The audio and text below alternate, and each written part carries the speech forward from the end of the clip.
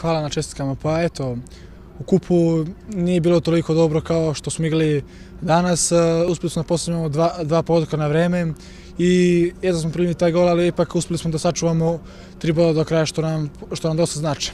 Da, sad smo prvi do, do, do utakmicu, u najmanjem slučaju bit ćemo drugi večeras, tako da vidjet ćemo šta će biti. Da ne bi prošli sve ove, ove uspehe, moramo, moramo da pobedimo i Čukarički.